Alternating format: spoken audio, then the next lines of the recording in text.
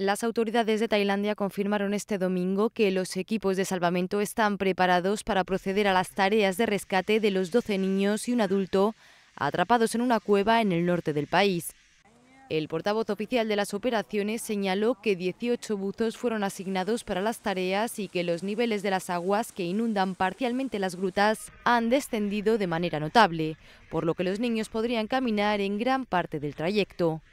En cada viaje de la gruta donde se hallan los menores, los buzos tienen que atravesar unos 1,7 kilómetros de estrechos pasadizos entre visibilidad nula y corrientes de agua, un camino que toma ida y vuelta unas 11 horas. Además, las autoridades dieron órdenes para que los más de mil profesionales de la información apostados en las proximidades de la cueva abandonaran la zona. La avanzadilla de fuertes lluvias que regó la noche del sábado la región puede ser la señal que marcó el inicio de las operaciones. La llegada de más lluvias, previstas desde este domingo hasta el miércoles, podrían aumentar la presión de la ya de por sí complicada misión de rescate.